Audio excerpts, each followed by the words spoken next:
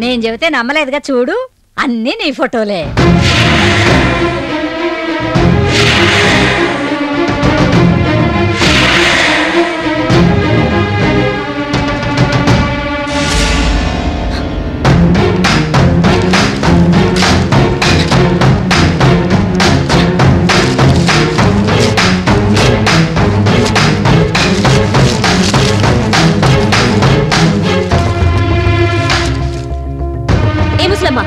ఇలాంటి పిచ్చి పిచ్చి వేషాలేస్తే పోలీస్ స్టేషన్లో కంప్లైంట్ చేస్తానని నీ మనవడికి చెప్పు.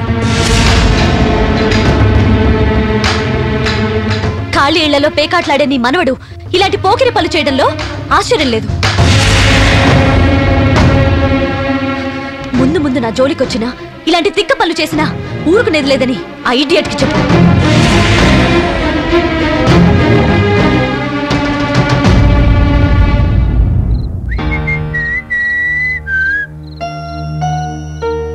ఏంటి విమలమ్మా? నా కుర్చీ ఎక్కేవేంటి? ఎగ్జామ్స్ నువ్వు ప్రిపేర్ అవుతున్నావా? హలో? ఏంటి అలా బిగుసుకొని కూర్చున్నావు?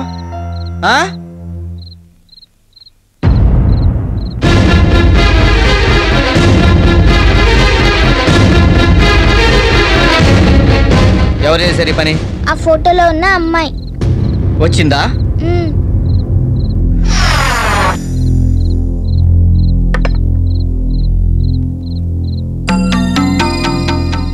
ఆ అమ్మాయి అలా చేసినందుకు నేను బాధపట్టలేదురా ఆ అమ్మాయితో నువ్వు అలా చేయించినందుకు బాధపడుతున్నాను. నీ ప్యాకాట్లు నీ అబద్ధాలు నా మనసును విరిచేశా నువ్వేది చేసినా నేనేనాడు అడగలేదు. నువ్వేం కోరుకున్నా ఇవ్వకుండా ఉండలేదు. ఎందుకో తెలుసా? నువ్వు అందరిలాంటి వాడివి కావనే నమ్మకం నాలో ఉండబట్టేరా. సారీ నాయనమ్మా. సరదాకి అప్పుడప్పుడు పేకాడుతున్నాను నిజం చెప్పి నీ మనసుని కష్టపెట్టకూడదు అనుకున్నాను నాకు తెలుసు నాయనమ్మా ఈ ప్రపంచంలో నన్ను ప్రేమించినా ఆశ్రయించుకున్నా నువ్వు ఒక్కదానివేనే. ప్రమాణం చేసి చెప్తున్నానే ఇంకెప్పుడు అబద్ధం ఆడే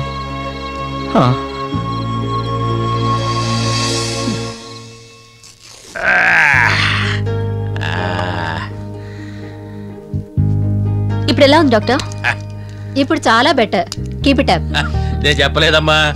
మిలిటరీ వాడిని ఈ బీపీ జీపీ నన్ను ఏం చేయమని జీపీయా? అదేంటి? గుండెపోటు.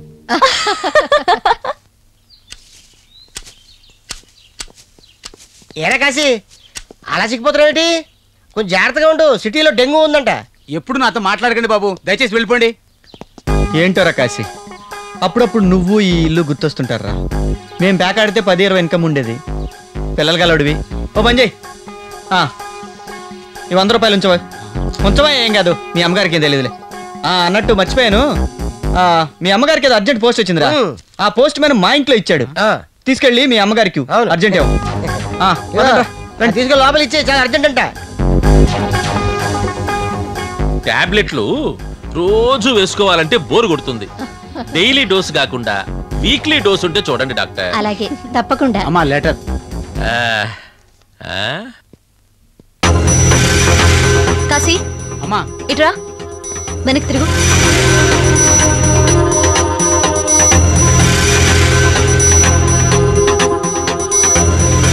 ఏరా నువ్వు మనిషివా దున్నపోతువా? ఆ చిల్లర పెద్దవాళ్ళ కాగితం ఉతికిస్తుంటే నీకు చలనమే కలగలేదా? పో పోయి బయట చావు. Doctor this is too much He's testing our patience. I'll teach him a lesson. నేను ఇప్పుడే పోలీసులకు ఫోన్ చేస్తాను నీకి ప్లీజ్ తొందరపడద్దు. నీరజ్ ఒరిజినల్గా చాలా మంచివాడు. అతని ఇలాంటి పని చేయకుండా మళ్ళీ నేను చూస్తాను. కాస్త ఓపిక పట్టు ప్లీజ్.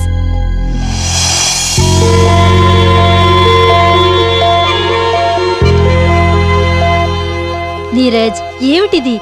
మళ్ళీ ఆ అమ్మాయి ఫోటోలు తెచ్చి. చూడు నీరజ్ నువ్వు వివేకవంతుడివి. మొన్న అమ్మాయి చేసిన గొడవకి మళ్ళీ ఈ ఫోటోలు తేకుండా ఉండాల్సింది. ఆ అమ్మాయి నీ మీద విపరీతమైన ద్వేషంతో ఉంది. తెలుసా? ఏం చేయమంటారు డాక్టర్? తను నన్ను కోపగించుకున్నా నా మనసు మాత్రం తన చుట్టూనే తిరుగుతుంది. అది కాదు నీరజ్ ఇందాక కాశీ ఒంటి మీద మెసేజ్ అతికించడం ఏమన్నా బాగుందా? తను యాక్షన్ తీసుకుంటానంటే నేనే వద్దని రిక్వెస్ట్ చేశాను.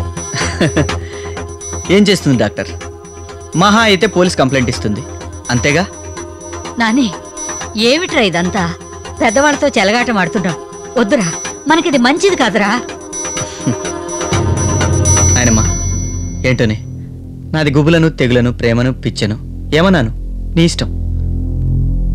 కానీ నీకో నిజం చెప్తున్నానే. నేను ఈ అమ్మాయిని ఇష్టపడుతున్నాను. ప్రేమించడానికి అర్హతలేంటో నాకు తెలియదు కానీ నేను ఆమెను ప్రేమిస్తున్నాను. మనస్ఫూర్తిగా ప్రేమిస్తున్నాను. నీ మీదొట్టు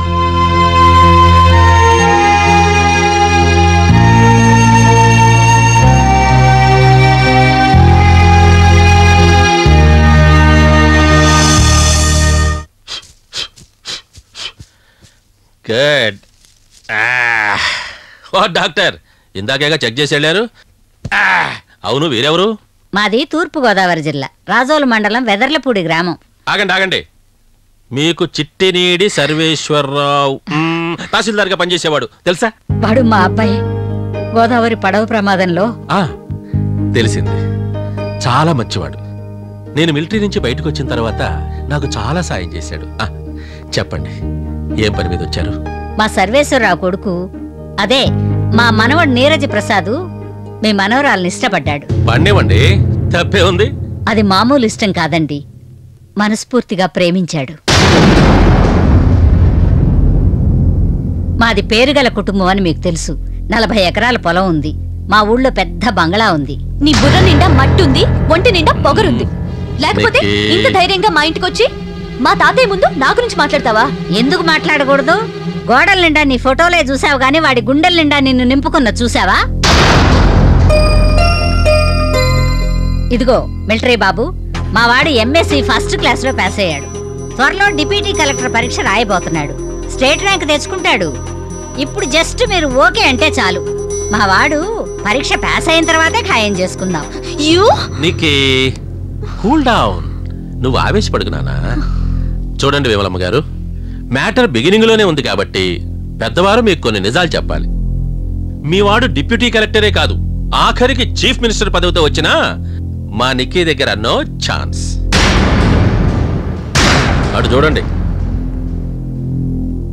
అతను కూడా అమెరికా నుంచి మా నిక్కీ వాళ్ళమ్మ పంపితే నిక్కీతో సంబంధం కోసం వచ్చాడు.